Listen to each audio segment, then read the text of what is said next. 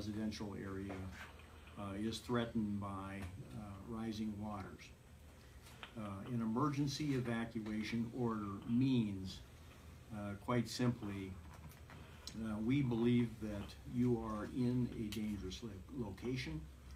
We believe that there is a threat to your health and safety. Uh, and we are advising you uh, to leave that area.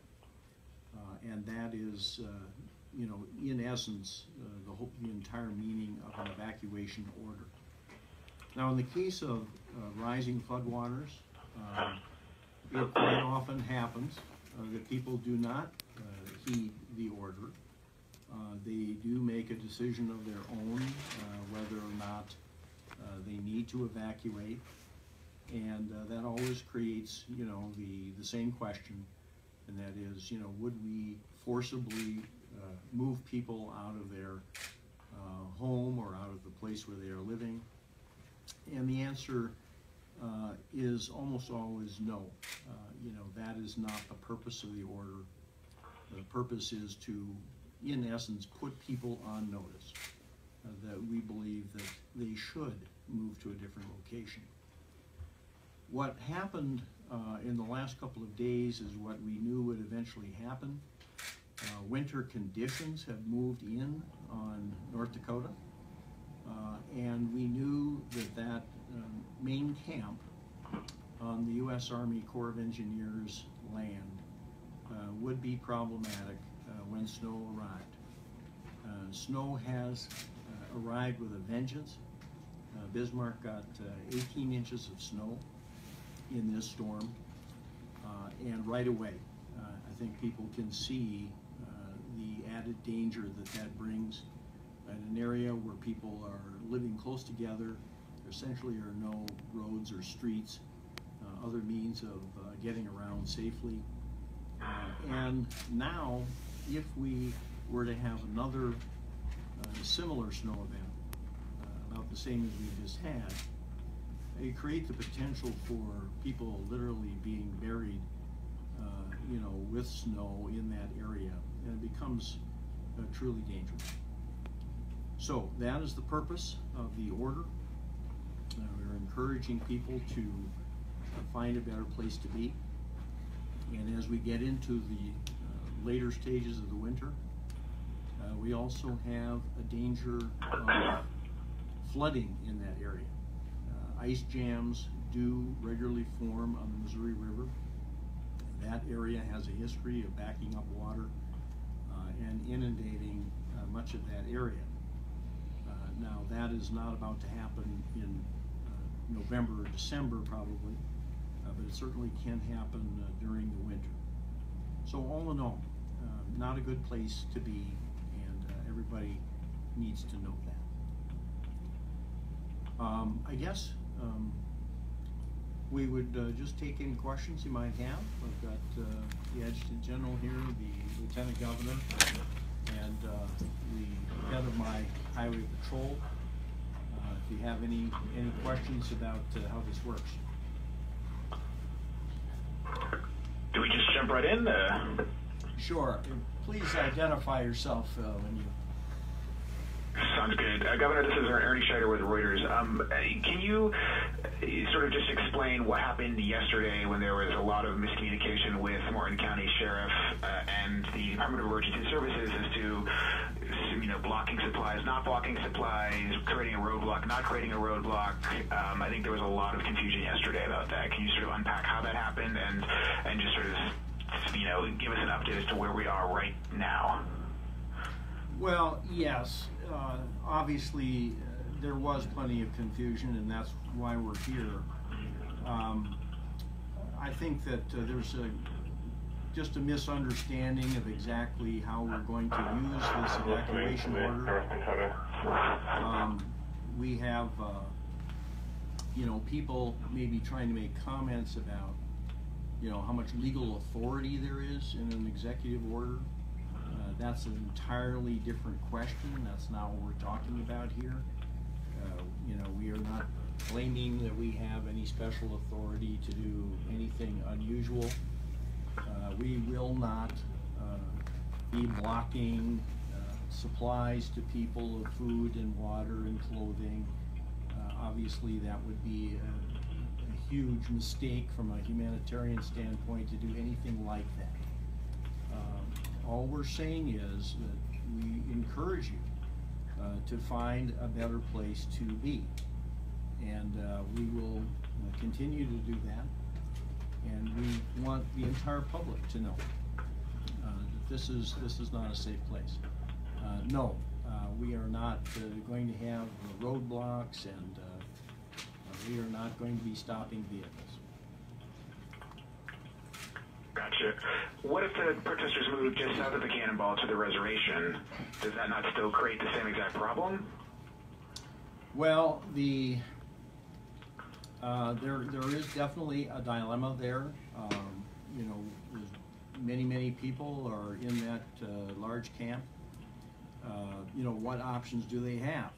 Um, over the last few months, uh, there has been a lot of talk about providing more shelter, uh, in the Cannonball area. Uh, possibly, uh, uh, more of a winter-ready camp, uh, to be established someplace else. To the best of my knowledge, that has not really developed to any great extent. So the options, you know, are limited. But we do um, know that many people who have come to North Dakota have uh, found themselves uh, staying in the in the casino or in other motels and hotels around.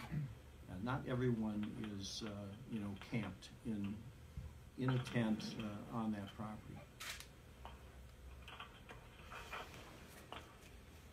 Why, why, uh, why, Governor, why, why issue the emergency order if you're not going to forcibly remove people?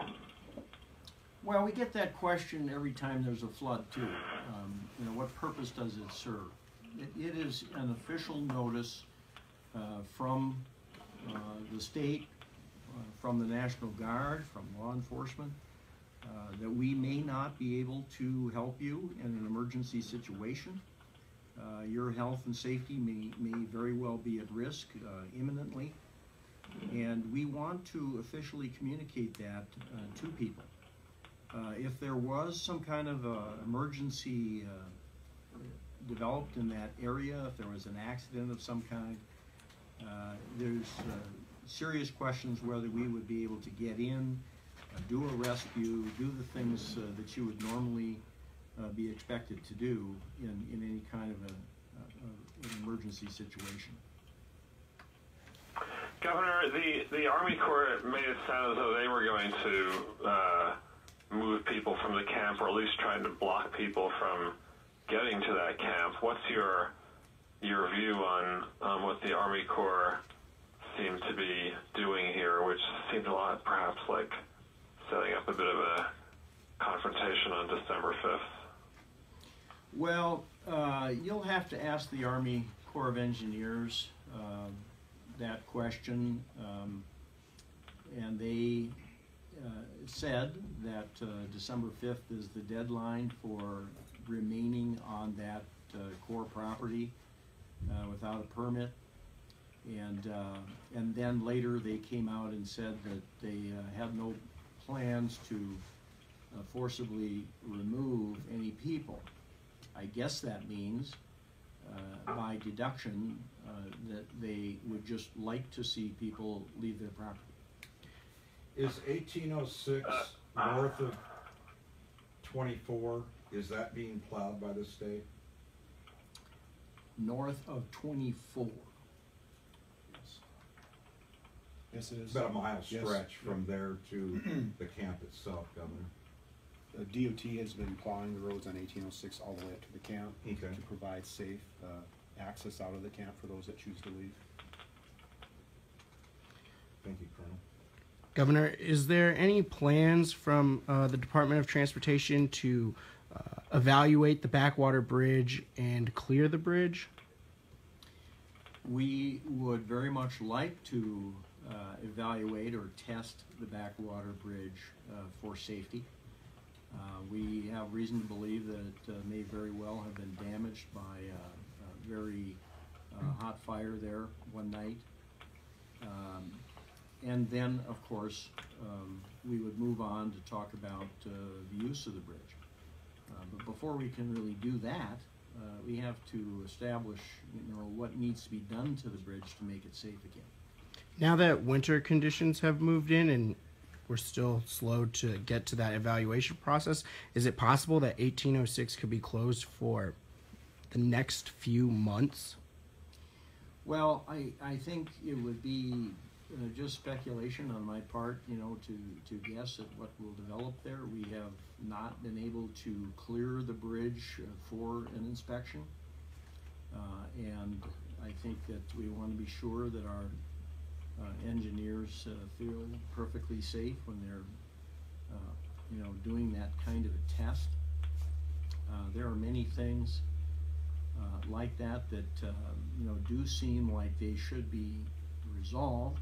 Um, and in that vein, um, I have, uh, as of today, um, requested a meeting with the Standing Rock Tribal Council. Uh, I've asked to meet with the entire council and discuss uh, some of these uh, questions that we have had for some time, but also to discuss in general how we are going to rebuild uh, the long-term relationship that we have had uh, with the people of Standing Rock. Get back to a place someday uh, when uh, people are good neighbors and uh, people are not feeling resentment for things that have happened in the past. In my opinion, we need to begin now uh, to talk about how we are going to eventually arrive at a peaceful resolution of the situation and, and restore the relationship between North Dakota and the Standing Rock people. Um, so I take it you're not bringing in the National Guard, Well, or have you can have you considered that? And and and what is your view also on the possibility of rerouting this pipeline? Just all this in the in the vein of, you know, resolving this somehow. Well, the uh, the National Guard, uh, you know, has been called into service a long time ago, um, and have been in a supporting role here for some time. Uh, law enforcement North Dakota has made, had to make a tremendous uh, commitment uh, because uh, we have had to maintain order, keep the peace, maintain public safety in Morton County as best we can. And I think our law enforcement people and our National Guard have done an outstanding job. Uh, they have been very professional in the way they've conducted themselves. Uh, they have not antagonized people, they have not harassed people, uh, they have kept people safe. Uh, and I think that is something to be commended. Uh, but we have not at any time uh, ever contemplated uh, going to the main camp and removing people from that area. Uh, they have been on U.S. Army Corps of Engineers land, it's true, without a permit, uh, but uh, we, we have not ever discussed uh, removing them forcibly from that area. If the Army Corps uh, requested police services, National Guard services to clear the land, would you consider that request? I have said to the Corps directly that uh, they really need to take the lead uh, in what they do to clear their property uh, and what they do to evict people who are residing on their property, property illegally. Uh, it's their land, it's their jurisdiction, uh, and they need to step up and be the ones to do that. Uh, they don't have their own enforcement arm, as you know, but uh, they can call on the Justice Department, uh, U.S. Marshal Service, uh, to begin to let people know uh, they're not going to be allowed to stay there. Uh, As I understand it, they do not intend to do anything uh, to forcibly move people. They have not asked us for any.